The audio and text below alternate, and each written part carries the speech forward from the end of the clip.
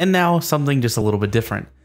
This time, instead of a specific strategy or tactical aspect or bullet point or whatever, I just want to appreciate this deck that I went up against the other day. and it was really incredible because I wasn't expecting it in the slightest. And granted, uh, at this time, like this is right after the ladder reset, so I'm pretty, I have a pretty high uh, ranking right now. So you, you know, that kind of comes with it, you know, weird, not necessarily meta decks, but also that's kind of where the fun of it is, right? As you get higher and higher, this is a small rant, but as you get higher and higher, you start running to, uh, start running into, you know, the meta. As I say, as I net deck, you know, of the strongest decks of the meta right now. But that's just to learn it, just to learn it, and then I'm going to switch to something else. But until then, but this this deck is going to take like hundreds of games to really get fully grasped. But anyway, uh, so this is a particularly, I think, interesting deck. And by the way, don't take my gameplay um, as gospel. This is one of the first games I started playing with this particular deck, so a lot of it's gonna be wrong. So don't even bother with that. And also, granted, a lot of the plays that my opponent makes maybe not are the best, but still, the core of the idea of this deck I think is really interesting. So he opens up with the the new. This used to be called Fiend. I don't know what's called anymore, or if it's still called Fiend. Uh, but this is kind of a weird unit. It's a bronze unit that boosts up to 11 from 8 if you have a particular unit in your hand. And I didn't really understand it. It seems relatively weak to me. But at least it doesn't have to row stack.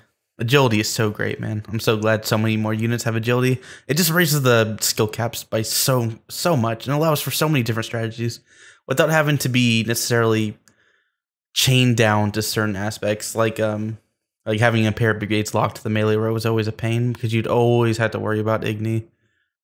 Uh, and it wasn't even just like D bombs or anything like that. It was just annoying stuff like Igni. But anyway, so he makes a little bit of a strange play, and I'm not really going to get too much into the the more technical aspect of what's going on here. He he plays Frightener on my side of the board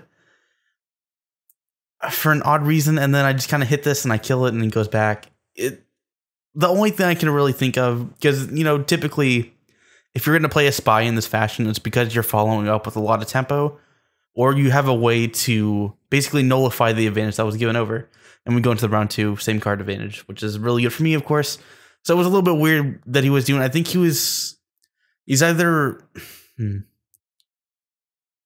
it would make sense for him to try and do what he was trying to do in round two, as you'll see here in a moment.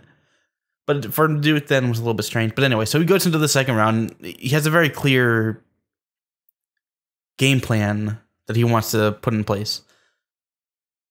And also, I'm also make a little bit of a mistake here. So against, if you're going against like consume monsters or that are using neckers or in general, like uh, consuming kind of things, it's generally not all that great to try and face them in this round. Or rather, I should say. So I wanted to play cards to try and counter his carryover, right? I wanted him to play one card. I wanted us to go to the next round with me being one card up as opposed to just going to round three, same cards, which would still give me the last say, which I could counter something like Graveyard Hag with. But I was trying to push for a little bit more, which I think is a bit of a mistake because if just a single Necker survives and he has all these consumes going off, and we go into round three and he still has that one Necker, right? That's coming back.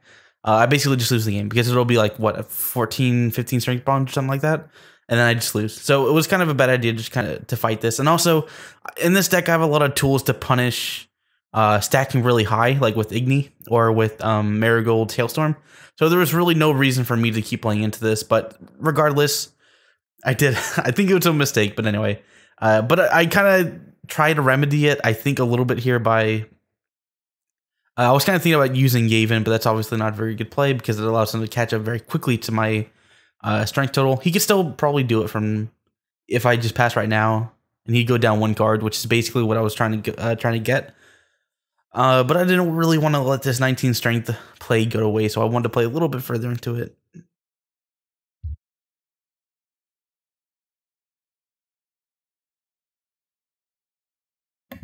Just like so.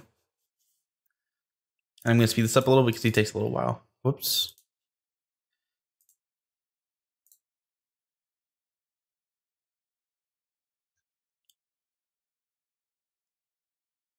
Yeah, there we go. All right.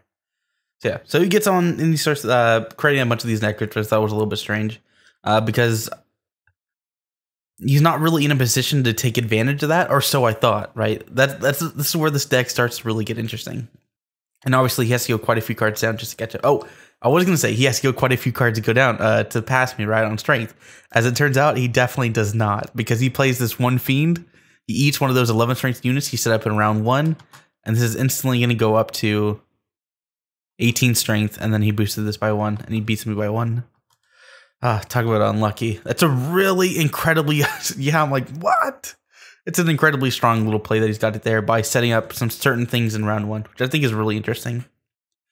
Which I suppose is where that quote unquote fiend card, uh, the 11 strength vanilla bronze comes in. It doesn't really do anything, but I guess because there's so much consumed synergy there, not necessarily in like uh, getting a buff of it, but rather to buff other things to have a target.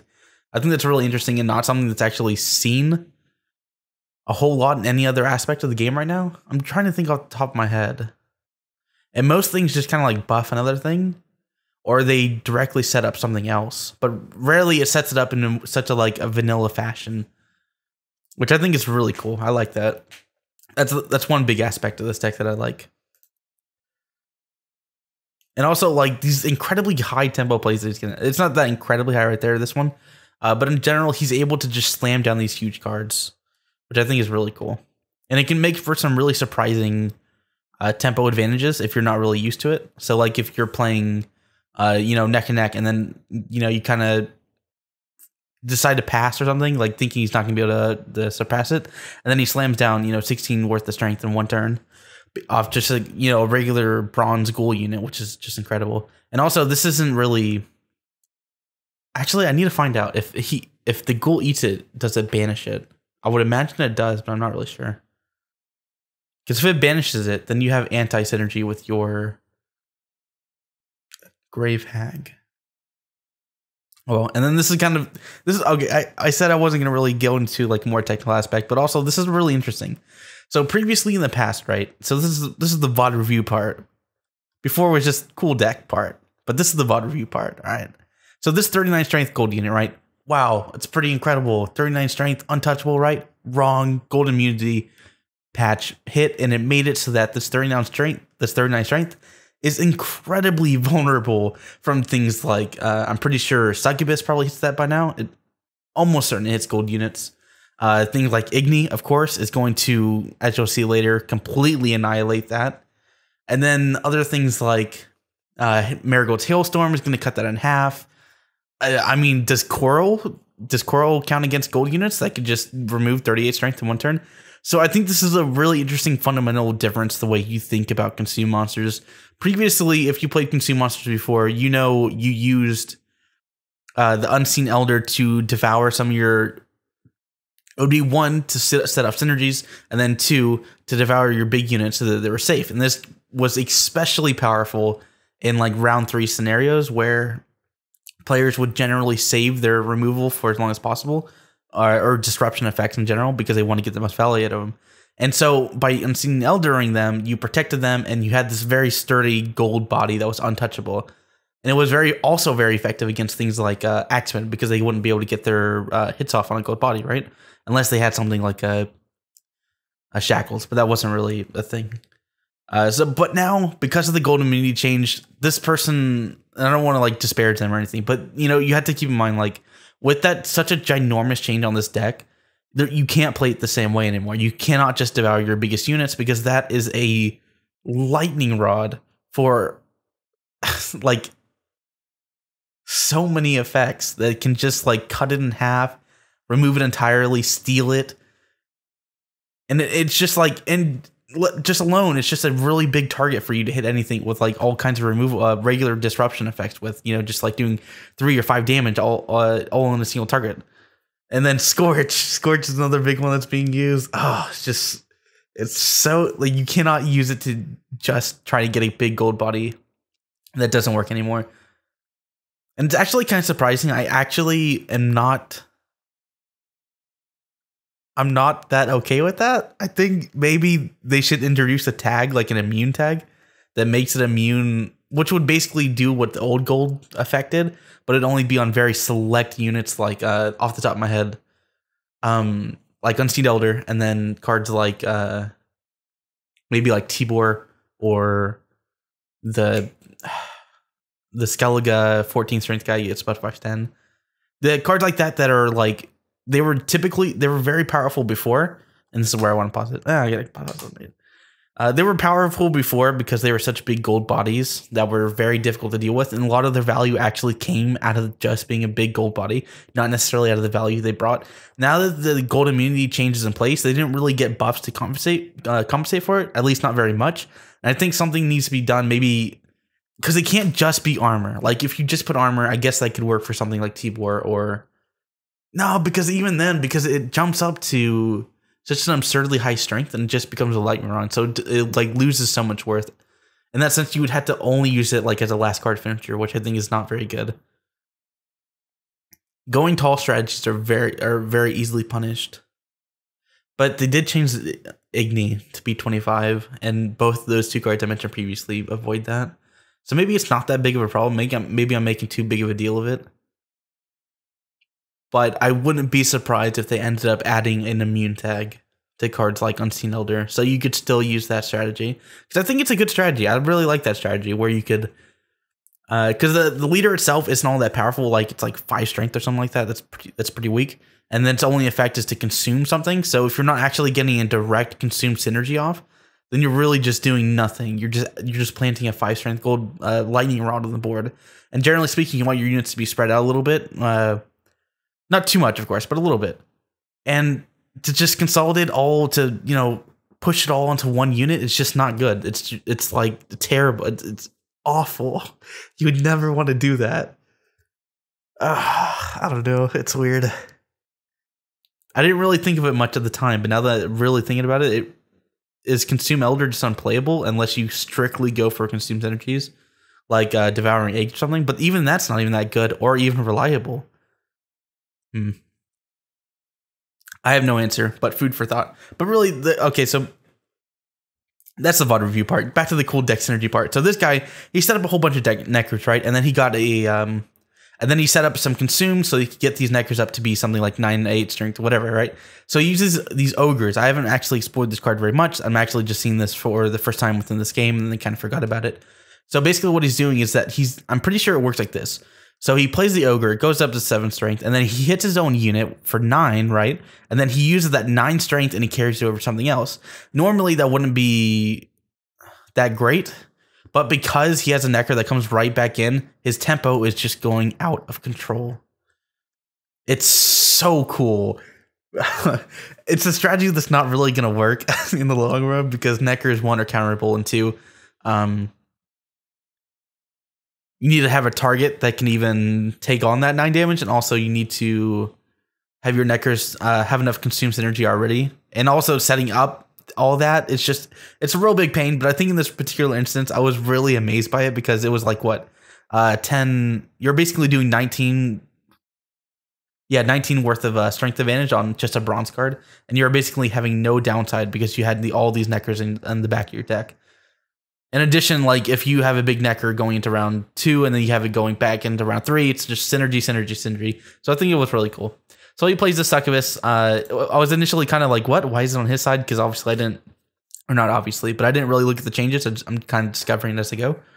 Uh, and I thought it was really interesting because I was on his side and I was like, oh, that's weird, right? But then I read the text. Oh, it will steal the, the, the, highest unit on the opposite side of the board. So in exchange for losing its gold immune status, which was pretty powerful, the only way to stop it previously was to move a unit or shackles. Now it just kind of goes off. Uh, in or rather, in exchange for that gold immunity, now it stays on your side of the board. So he, it's only a, a positive, or it's only there's not that big of an associated risk because before you would give your opponent five strength now you get to keep that five strength, and also you can buff it yourself with uh it can be a unit for being buffed rather for potions and like, and obviously save my souls, uh, save my Zoltan. I didn't actually expect this to come out, but I saved Zoltan anyway and was able to move my unit out of danger. Good stuff. And really, that's also kind of like a minor point, but I, did, I had no reason to use Zoltan before. And when the opportunity finally arrives that I could use it for something, uh, which actually won me the game, feels pretty good. Because it would have been 46. Yeah, I would have lost by like nine. So if I had not had saved Zoltan for that very last moment, I actually would have lost this game, despite going into this round like four cards ahead, three cards ahead. No, actually, it was less than that. It was like two two cards ahead or something like that. But anyway. So even though I have a commander stolen at my 15 strength, it was still really close because he if he had stolen that 46 strength unit, I would have lost anyway. So I saved my very flexible unit. Uh, even if I wasn't expecting something, I still saved a flexible unit for the very end. And in general, I probably would have used. I'd like to think I would have used Commander's Horn first and then Zoltan, but who knows? I actually probably would use Commander's Horn, but now I'm going to be keeping that in mind. I should be watching out for enemy succubuses. This is a bit of a longer. Uh, this is a bit of a longer video to cover both the, this cool deck that I'm actually rel- relatively interested in trying. It's a, I think it looks like a fun gimmick deck, but otherwise some good VOD viewpoints in there. For example, planting that seed of doubt of is Unseen Elder garbage because he is no longer a stable gold body? Does he need armor? Does he need some kind of immunity? Who knows? Something to think about. Thanks for watching.